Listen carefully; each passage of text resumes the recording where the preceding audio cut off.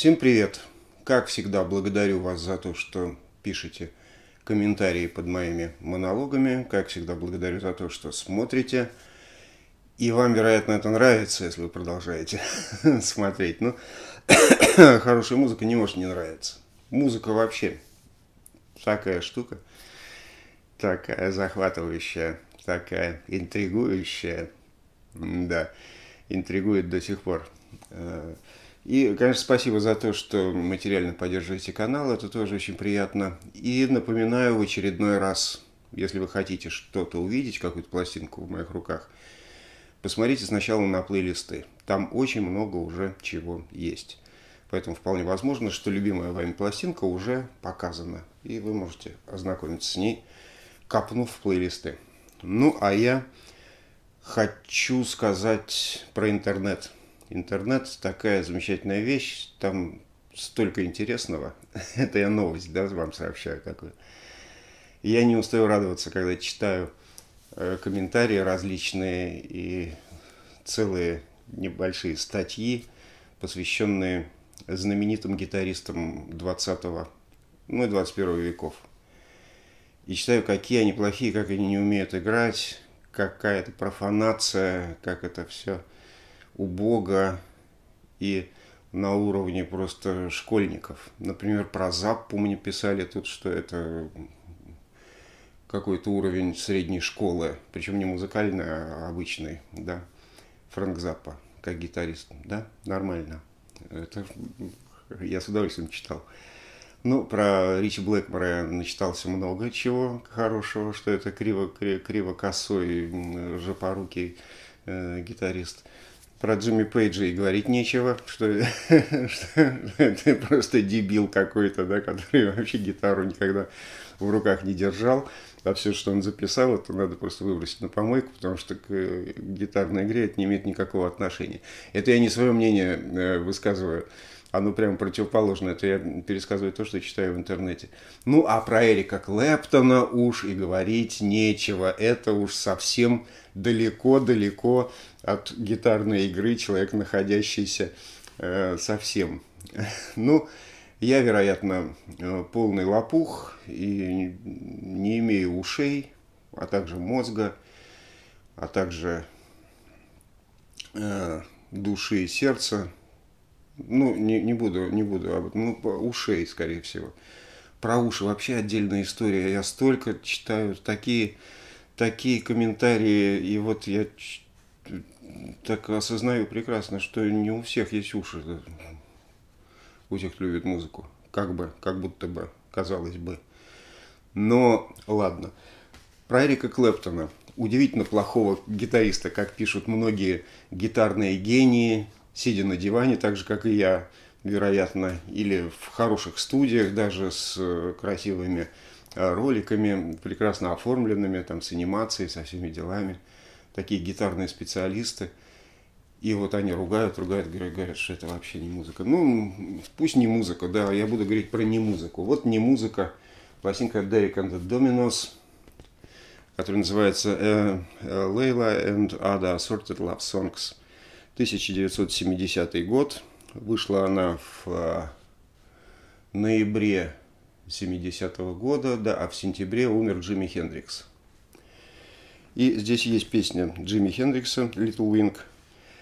Я не знаю, записана она после смерти Джимми Хендрикса или она записана до смерти Джимми Хендрикса. Я не знаю, какие конкретно месяцы, в какие конкретно дни записывались те или иные песни на этом альбоме. Но то, что смерть Хендрикса потрясла Клэптона и всю группу, это очевидный факт, потому что э, Клэптон и так был не, не очень хорош, э, не очень хорошем психическом состоянии, а после смерти Хендрикса совсем ушел уже э, в депрессию. И группа просуществовала недолго. Хотя есть еще пара пластинок с записями концертов Derek and the но, по сути дела, это один студийный альбом, один единственный. Что я хочу сказать, что когда я был юн, не помню, сколько мне было лет, ну, лет, наверное, 17-18, и все мое окружение, мы все страшно торчали на этой пластинке. Я до сих пор продолжаю ее любить безмерно. Это, если говорить о гитарном роке, вообще, в принципе, это э, один не то чтобы из краеугольных камней гитарного рока, потому что краеугольные камни это там Крим, Led Zeppelin, да, где-то э, как-то, хотя Крим, конечно, краеугольнее будут. Э, но это одна из э, самых таких ярких интересных пластинок 70-х годов, да и вообще не только 70-х, а вообще в принципе гитарного рока, блюз-рока, как хотите, можно называть. Это потрясающая, конечно, запись. Но история этого альбома, она э, достаточно короткая. Эрик Клэптон на руинах э, коллектива Blind Fate, супергруппы, в которой он разочаровался совершенно, решил э, сделать такой не то чтобы анонимный э, бенд, но перестать выглядеть супер музыкантом супергруппы, потому что был Крим грандиозный, да, был Blind Fate грандиозный, который не оправдал его надежд. И он устал от грандиозности, он присоединился к команде Делани энд Бонни, такой дуэт, как бы, да, э, с музыкой соул, электрогитарный соул, такой очень интересный. Записали они даже один альбом с Клэптоном, очень хороший у меня он есть, я про него расскажу как-нибудь. Поехали в тур, и из тура Клэптон как-то ушел после этого тура, а музыканты Э, которые играли э, с Делани и Бонни, э, в частности Бобби Видлок, присоединились к туру Джо Кокера. И был записан потрясающий концертный альбом. Я не очень люблю Джо Кокера, кстати, я несколько вещей его люблю. Ну, очень хороший альбом Mad Dog and the Englishman. Концертный двойник, шикарный, вот с Бобби Витлоком как раз.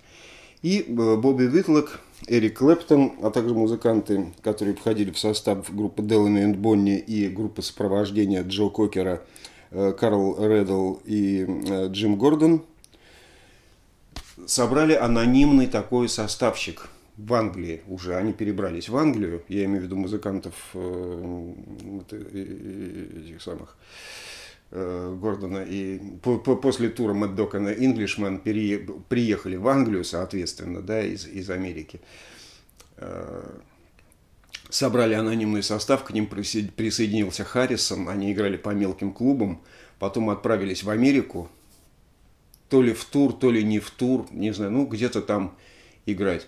И подцепили, а, сходили на концерт Allman Brothers, и Эрик Клэптон подцепил Дуэйна Олмана, и вместе с Олманом, уже вернувшись в Англию, вся замечательная эта группа стала называться Derek and the Dominos. Сначала они назывались по-другому. Слово Derek там случайно возникло. Ну, мы все знаем, как Derek and the Dominos. И записали двойной альбом. Он в такой в одинарной обложке, но двойной получился. И что, я еще раз повторю, что это классика настоящая гитарного рока. И, может быть, это даже лучший альбом Эрика Клэптона, если говорить о творчестве сольном Эрика Клэптона. Вполне возможно. Ну, правда, здесь он с Дуэном Олманом, с э, Бобби Уитлоком, который играет на клавишных и поет, и является э, соавтором большинства практически песен авторских. Потому что здесь есть кавера, кавера блестящие совершенно. Ну и нельзя не упомянуть о страданиях Эрика Клэптона, который был не безнадежно, а вполне нормально влюблен в Патти Бойт, жену Джорджа Харрисона. Патти Бойт отвечала ему взаимностью, потому что Джордж Харрисон ей уже изменял, она от этого бесилась, а Эрик Клэптон романтически за ней ухаживал. В конце концов, два любящих сердца соединились, правда, через несколько лет всего они стали мужем и женой. А Харрисон отнесся, отнесся к этому достаточно спокойно, потому что он сам был гуляка еще тот, и уже в 70-м году позволял себе многое. И, в общем, так закрыв глаза, э, прикрыв глаза, наблюдал за связью Пати Бойта и Эрика Клэптона. Но в тот момент, в момент записи альбома, они еще не сошлись. И Клэптон был романтически влюблен в Патти Бойт. И вся эта пластинка является посвящением этой самой красавицы Патти Бойт. В частности, песня «Лейла», которую почему-то многие не любят, а я считаю, и не один я, что это шедевр, это блестящая песня из двух частей. Первая часть прекрасный романтический гитарный рок, а вторая часть это просто какой-то Элтон Джон начинается, такой инструментальный кусочек. Но помимо э, Лейлы здесь все хорошо. I Looked Away, первая песня. Как бы такое вступление в э, вот этот самый замечательный клэптоновский гитарный рок и клэптоновский просто бенефис на этом альбоме. Сдвоенные гитары Олмана и Клэптона на фоне. Они не улезают здесь вперед, они такую подкладочку играют, очень плотную стенку хорошую. Ну и потом Bell Bottom Blues, потрясающий номер Клэптона, который входит во все его greatest hits, во все там история History of Eric Clapton там и прочие альбомы. На концертах постоянно он исполнял и исполняет эту штуку. Ну, Bell Bottom Blues, понятно, что с гитарным соло замечательным. Все вот эти диванные наши гитаристы отечественные, они пускай все ругаются, но такой звук, который у Клэптона здесь и дальше будет. Главное же что? Главное звук, да, и фразировка, и те, кто говорят, что Клэптон играет банальные э, фразы, ну, что-то там с ушами, не знаю, или, или что-то там еще с чем-то, не знаю, банальные, да. Да, и мелодия, и гармония, здесь все здесь хорошо.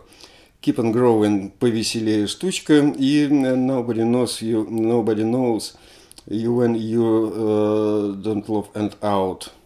Еще один блюз, кавер Джимми Кокса – с яркой гитарой, с яркой, очень жесткой, с такой, я не знаю, как он добивался этого звука.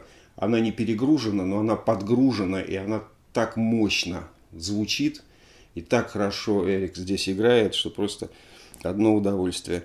I'm Yours, акустическая песня на второй, на второй стороне открывает номер лирика «Я твой». Вообще здесь все про любовь, здесь, здесь все про чувство к Патти Бойд. Any Day – это просто жесткая очень странная песня, написанная э, с Бобби Уитлоком. Кстати, I Looked Away тоже с Бобби Уитлоком написана, и Уитлок здесь поет. Это первая песня на первой стороне. Очень хорошо, очень драйвово. А, а про I'm Yours, про Any Day я говорил. Она, вот единственная песня с какой-то странной гармонией, какая-то она усложненная. Вроде такой рок блюзовый, да, ну, как-то усложненная, я, я там теряюсь в этой, честно говоря в этом произведении. Зато э, Key to the Highway, третий номер, длинная песня. Песня э, э, Вик Билла Бронзи, Уильям, Уилли Бронзи, то есть э, кавер известный Key to the Highway, традиционный блюз. И так он разыгран на гитарах. Такое удовольствие просто. Он и по-английски сыгран, и по-черному одновременно. И абсолютно точное попадание и в, в такую в архаику блюза и в современность, и в 70-й год. И то время читается, и сейчас бы, если так сыграть, это было бы на ура. Просто настолько хорошо, настолько здорово. Ну, кстати говоря, Дуэйн Олман играет же здесь еще на гитаре вторым номером, а часто первым. И вот э, третья песня на третьей стороне Have You Ever Loved a Woman как раз. Вот там дуэт Олмана и Клэптона. Олман играет на слайд-гитаре, э, Клэптон без слайда, без ансамбля. да. И такой дуэт, такое переплетение, так, так друг другу они уступают, потом переплетаются, потом уступают, двигаются, каждый двигается, чтобы другой сыграл. Так, так кайфово. Tell the Truth, э, первый номер на третьей стороне. Эта песня стала хитом, сразу потащила за собой альбом. И дикий темп э, Why Does Love Got To Be So Sad. Бешеный драйв, просто бешеные скачки. И что в этом альбоме удивительно, что это соединение американского рока, американского блюз-рока с чистой Англией, с, английской, с, английскими, э, с английской мелодикой, с гармониями, с пением Клэптона – и вот этот англо-американский союз такую дал мощную просто музыку, так все здесь здорово. Ну и, конечно, Little Wing, я уже говорил, песня Хендрикса открывает четвертую сторону. Очень интересно, пять с половиной минут она идет здесь, и Клэптон здесь и поиграл, и попел, и очень прочувственно все, очень с настроением, с уважением к Хендриксу. Просто потрясающе. Ну и Лейла, про Лейлу я уже сказал. Очень хорошая песня. И закрывает пластинку э, Turn Tree in the Garden. Песня Бобби Уитлока, которую он сам и поет. Акустический номер. Лирическая, лирическая кода. Такая, в общем, пластинка 6 баллов из 5. Или 15 из 10. Я бы ей дал. Это, конечно, обязательная штука для любого, кто любит гитарный рок. Окей, пошел пить. Пока.